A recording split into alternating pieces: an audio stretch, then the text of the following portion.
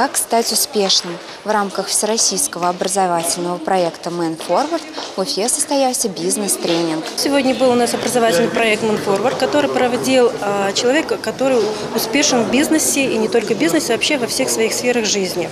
Я считаю, что а, чтобы стать успешным, нужно учиться у успешных людей. В рамках э, большого образовательного проекта, причем бесплатного, Man Forward называется, мы планируем ряд известных личностей, которые проявят бесплатными тренингами для населения, что позволит людям, многим э, соприкоснуться с реально успешными людьми, создавшими себе крупные капиталы в разных бизнесах, имеющие феноменальную историю успеха.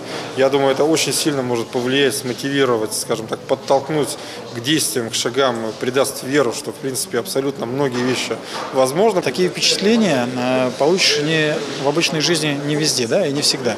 Вот. э, Мои впечатления были такие, что с такими людьми, которые уже добились какого-то успеха в этой жизни, нужно обязательно общаться. Я уже давно интересуюсь этой темой бизнеса. И, ну, пришел сюда, все равно узнал, узнал что-то новое. много чего можно подумать, все обмыслить, я думаю, после этого тренинга.